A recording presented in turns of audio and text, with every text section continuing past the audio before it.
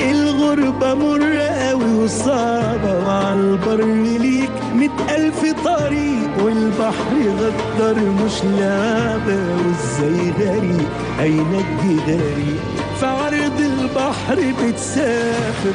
مع موجة غدارة تعافر مشواره كل اللي كابر بيروح ويرجع منه غريب. بيروح ويرجع منه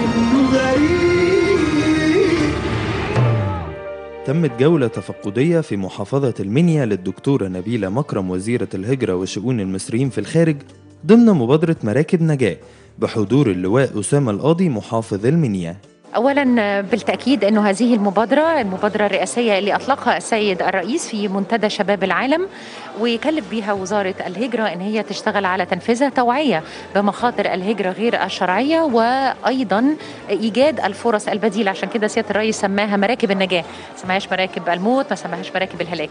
إنما عشان ندي هذه الصورة من الصورة الإيجابية والفرص البديلة كان لابد أن وزارة الهجرة تشتغل مع مؤسسات الدولة مع الوزارات الأخرى وزارة التضامن التضامن التجارة والصناعة الشباب دي المحطة الرابعة. إحنا بدينا بالغربية والفيوم والبحيرة فدي المحطة الرابعة. إنما إن شاء الله بنكمل المسيرة لكل المحافظات المصدرة للهجرة غير الشرعية. أطلقنا مبادرة فخامة السيد رئيس الجمهورية مراكب النجاة.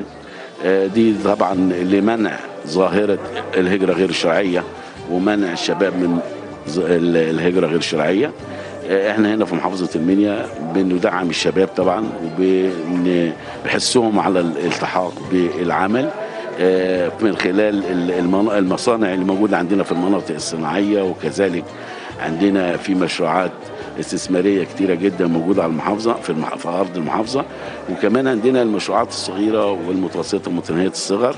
الوزارة بتنفذ مبادرة مراكب نجاة المبادرة الرئاسية لمكافحة الهجرة الغير شرعية في المحافظات الأكثر تصديرا للظاهرة دي وهي محافظة المنيا الهدف الأساسي من تواجد كل الأطراف الفاعلة في مجال التعليم الفني إن إحنا نخلق فرص عمل حقيقية لأولادنا الهدف قبل كل حاجة إن إحنا نحمي أولادنا مش منطقي خالص إن ولاد اللي هم ظاهرة شباب مصر يسافر يتبهدل في في مراكب خطر جدا في أهوال بيشوف أهوال الموت. دورنا إن إحنا نوفر له البديل الشرعي الاحترافي المنتج المربح بالنسبة له جوه مصر. وده اللي بيحصل فعليا. إحنا بنتكلم النهارده على مشروعات كثيرة. بنتكلم على تضافر جهود من أولها جهاز من تنمية المشروعات اللي هو بيدي فرصة للشباب يعمل مشروعات ريادية. بنتكلم على تواجد أجهزة اللي هي الاستثمارية كلها وزارة التخطيط وزارة الاستثمار اللي هي عندها خريطة الاستثمارية لمصر اللي هي بتقول لك إيه المشروعات اللي ممكن تعمل في كل محافظة. طبعا المجلس القومي بمساعدة وزارة الهجرة. إحنا لنا دور تثقيفي ودور توعوي بندرب السيدات الرائدات الريفيات. دربنا 360 سيدة على مدار يومين. دربنا داعيات وواعظات وراهبات حاليا بدأوا حملات طرق أبواب يعني نزلوا القرى. إحنا عندنا 19 قرية مستهدفة في محافظة المنيا فيهم نسبة هجرة غير شرعية كبيرة جدا. بيوعوا السيدات بمخاطر الهجرة غير الشرعية وبإيه السبل البديلة لذلك.